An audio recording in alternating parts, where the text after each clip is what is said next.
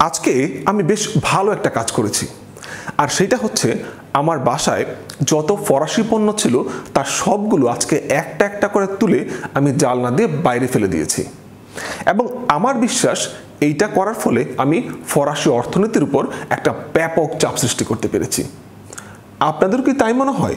মানে বিষয়টা তো এমনই হবার কথা ছিল, যেহেতু আমার বাসায় যেসব ফরাসি পণ্য ছিল, আমি সেগুলো ফেলে দিয়েছি বা নষ্ট করে ফেলেছি, সুতরাং এতে তো অবশ্যই ফরাসিদের উপর অর্থনৈতিক একটা চাপ পড়বে। কিন্তু আসলে কি তাই? দর্শক, আজকের ভিডিওতে আমরা বোঝার চেষ্টা করব বা আমি আমার সাধারণ বা সামান্য মেধা দিয়ে আপনাদের বোঝানোর চেষ্টা করব যে বয়কট মানে কি। আমরা সবাই এর সাথে একমত যে আমরা ফরাসি পণ্য বয়কট করছি। কিন্তু ফরাসি পণ্য বয়কট করতে যে আমরা যেন আমাদের নিজেদের পণ্য বয়কট না করে ফেলি, এই বিষয়ে সতর্ক থাকতে হবে। কয়েকদিন ধরেই গণমাধ্যমের কল্যাণে দেখছি যে আমাদের দেশের বেশ কয়েকজন তারকা শিল্পী বা সাধারণ মানুষ তাদের বাসায় থাকা ফরাসি পণ্য ফেলে দিচ্ছে। বা নষ্ট করে ফেলছে। কিন্তু এর মাধ্যমে কি তারা ফরাসি পণ্য বয়কট করছে? না, তারা তাদের নিজেদের দেশের পণ্য বয়কট করছে? যখন পুরো মুসলিম বিশ্বের সাথে ফরাসিদের মানে বর্তমানে যে ঝামেলা চলছে বা বর্তমানে যে আন্দোলন চলছে, তার পূর্বে আপনি একটি ফরাসি পণ্য কিনে রেখেছেন এবং সেই পণ্যের সমপরিমাণ অর্থ আপনি অলরেডি পে করেছেন এবং সেই টাকাটা ইতিমধ্যে ফ্রান্সে চলে গিয়েছে। তার মানে যেই পণ্যটা আপনার বাসায় এখন আছে সেটা কি আর ফ্রান্সের পণ্য? হ্যাঁ সেটাতে হয়তো বা মেড ইন ফ্রান্স লেখা, কিন্তু সেইটার ফ্রান্সের পণ্য না। সেইটা এখন আপনার নিজের পণ্য বা বাংলাদেশের পণ্য। এটি সহজভাবে বোঝার জন্য আরও একটি উদাহরণ দিচ্ছি।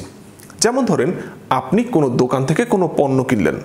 এবারে পণ্যটি কেনার দুই দিন পর আপনি জানতে পারলেন যে দোকান থেকে আপনি পণ্যটি কিনেছেন, সেই দোকানদার কোনো খারাপ কাজ করেছে। যেহেতু দোকানদার খারাপ কাজ করেছে, তাই আপনি সিদ্ধান্ত নিলেন সেই দোকানদারের সকল পণ্য আপনি বয়কট করবেন। মানে দোকানদারকে একটি অর্থনৈতিক চাপের মধ্যে ফেলবেন। এর মানে হচ্ছে যে আপনি ভবিষ্যতে সেই দোকান থেকে আর কোনো পণ্য কিনবেন না। কিন্তু যখন আপনি জানেননি যে সেই দোকানদার খারাপ, তার দুই দিন পূর্বে আপনি যেই পণ্যটি কিনেছিলেন সেই পণ্যটি আপনার এখন বাসায়।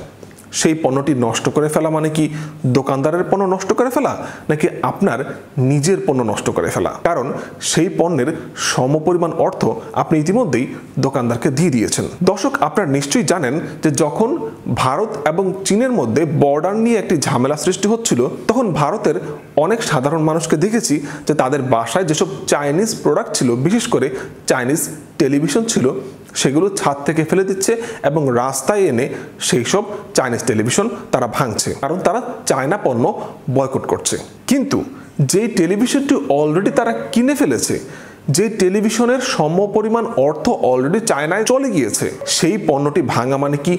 চায়নার পণ্য ভাঙা নাকি ইন্ডিয়ার পণ্য ভাঙা? বয়কট মানে হচ্ছে যে ভবিষ্যতে আমি সেই দেশের বা সেইখানকার কোনো প্রোডাক্ট আর কিনবো না।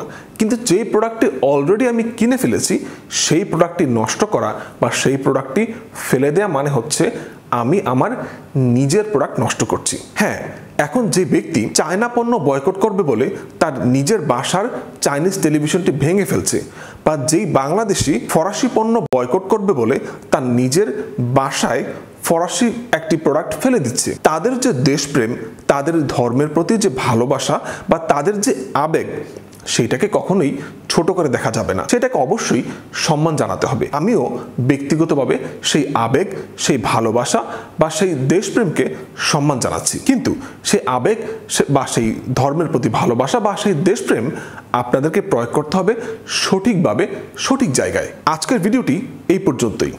শেষ করছি, তবে যাবার আগে আবারও বলছি, ফরাসি পণ্য অবশ্যই আমরা বয়কট করব।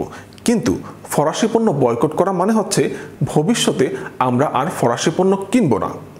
যখন আমরা কাস্টমার হিসেবে ফরাসি পণ্য না কিনবো, তখন ফ্রান্স থেকে যেসব ইম্পোর্টাররা প্রোডাক্ট ইম্পোর্ট করে, তারা বাধ্য হবে ফরাসি পণ্য ইম্পোর্ট করা বন্ধ করতে। আশা করছি এই ভিডিওর মাধ্যমে আপনারা বুঝতে পারছেন যে বয়কট মানে কি। আমরা ফরাসি পণ্য বয়কট করব, কিন্তু ফরাসি পণ্য বয়কট করতে যে যাতে বাংলাদেশি পণ্য বয়কট না করে ফেলি এই বিষয়টা লক্ষ্য রাখতে হবে। দেখা হবে পরবর্তী এপিসোডে নতুন কিছু নিয়ে। ভালো থাকবেন সবাই।